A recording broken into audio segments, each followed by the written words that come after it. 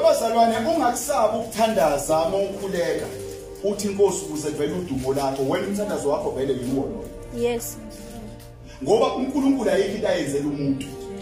uNkulunkulu ayikho into ayenzela umhlaba. Yep. kodwa yonke into uNkulunkulu ayenzelayo uyenzelele yena usenzele yena. Usenzelela udumo yena. Yes. that is why uNkulunkulu against umuntu oselfish. Ngoba uma uselfish uzokhohlwa ukunika yena udumo intabangelo Yeah. Amen. Amen.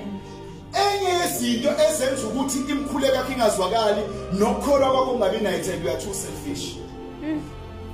Eh ukuze uzibone you are too selfish when ku- wena kulula ukuthi wenze ama excuse when you when when when you when when you supposed to meet God. Hayi kuyashisa namhlanje. Ba selfish lokho. Ngoba abukho kunye okwakubamba empilweni ubanje ukuthi kuyashisa. Yeah. ha?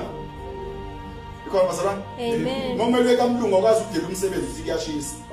Uyakhona kushisa ilanga kamlungu. Akusebenzise elangeni futhi. Ha? Akufake elangeni umlungu akabi nendaba nawe. Amen bazalwane Amen.